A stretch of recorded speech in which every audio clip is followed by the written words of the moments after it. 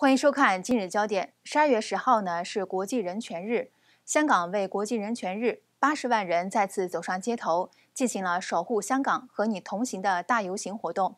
他们高呼着口号，五大诉求缺一不可：光复香港、时代革命、打倒所有暴政、权力归于人民等等，呼吁呢惩罚警察暴力、守护人权，来争取民主和自由。活动主办方表示呢，为什么举办这个活动？因为十二月十号是国际人权日，还有呢，这次游行的主题是青年人挺身护人权。在过去的半年当中呢，香港有不少抗争者被非法抓捕，没有办法回家和家人团聚，而且呢，中国内地也面对着暴政的压迫，所以希望大家都能够站在同一条战线上，来打倒所有的暴政，让权力归于人民。游行活动当中有很多人呢，是全家一起出动。陈先生一家呢，他们三口人都来参加了游行。陈先生说：“警察暴力问题必须要追究，因为七月二十号元朗恐怖袭击以及这六个月以来的活动当中发生的多次警察暴力事件，让他们觉得悲愤难平。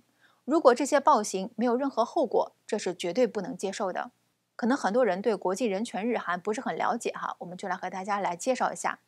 根据公开的资料显示呢，说联合国在一九四八年十二月十号。通过了《世界人权宣言》，所以以后呢，每年的十二月十号就定为国际人权日。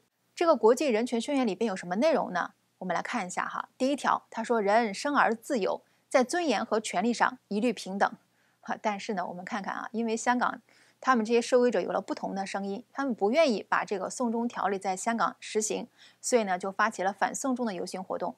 但是呢，以香港政府背后的中共政府呢，就把他们称为是蟑螂啊，说他们是暴徒等等的。他们的尊严和权利又从何而来呢？这个宣言里边第三条呢，说人人有权享有生命、自由和人身安全。但是呢，从六月份反送中以来呢，香港发生了各种被自杀的案件，以及元朗白衣人事件。七月二十一号呢，在元朗地铁站附近，一群白衣人无差别的攻击市民，而这些市民哪有生命、自由和人身安全的权利呢？这个《宣言》里边第五条规定呢，说任何人不得加以酷刑或施以残忍的、不人道的或侮辱性的待遇或刑罚。但是之前我们知道，香港新屋岭爆出来的警察对于香港抗争者进行的虐待、性侵、轮奸等等暴行，就在今年十月十号呢，香港中文大学一名无姓的女生，她哭诉警方性暴力。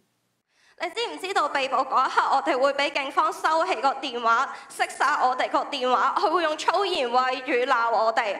你知唔知道警方要我哋去邊就去邊，入黑房就入黑房，除衫就除衫啊？你知唔知道我哋有人俾速龙用棍打到呢一刻都要覆诊啊？你知唔知道新屋兩個手新室係全黑噶？你知唔知道唔止我一個遭受警方性暴力啊？其他被捕人士，其他被捕人士系曾经遭受不止一名警员不分性别性侵及虐待。你知唔知道我哋俾人打嗰阵时，港铁职员望住我哋都视而不见啊？你知唔知道我哋喺拘留过程当中系肉锤砧板上，任人鱼肉啊？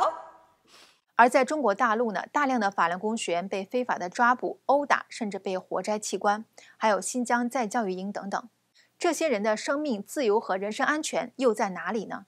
而种种侵犯人权的暴行，或许在中国内地呢被掩盖，但是在国际社会都能看得到的香港，人们却奋起反抗。从六月份以来呢，香港人士进行了大大小小的游行、集会、抗议，从之前的五十万人到一百万人到两百万人走上街头。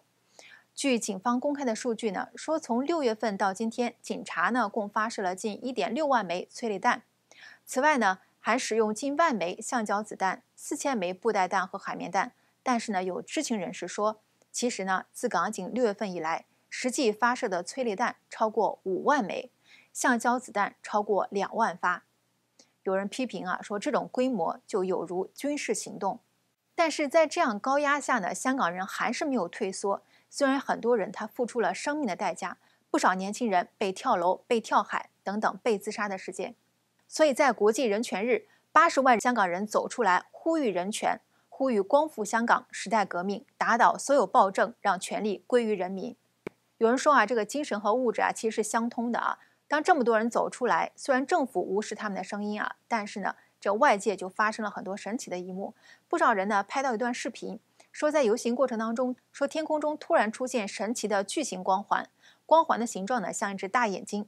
外围闪烁着金色的光芒，引发民众热议。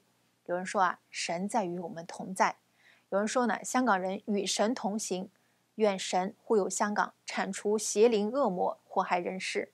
还有人说呢，天佑香港，天灭中共。有人说呢，神的荣光光照香港；也有人说是死去的义士在天之灵，他们在和香港人同心同行。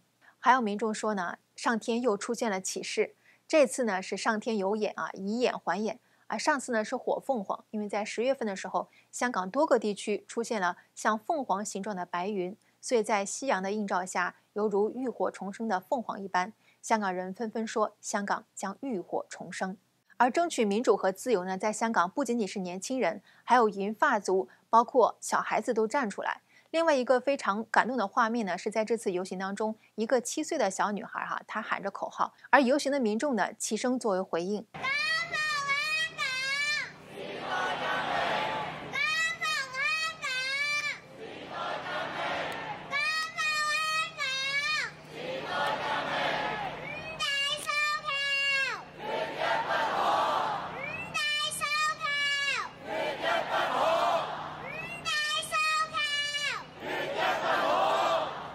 这一幕呢，被很多人感动。有人说，香港未来的小小主人翁，加油！也有人说，听到真的哭了，太感动了，伟大香港人，谢谢。有民众说呢，香港人已经觉醒了，面对暴政，他们知道必须站起来奋起反抗，不会再沉默。好了，感谢收看今日焦点，我们下期再会。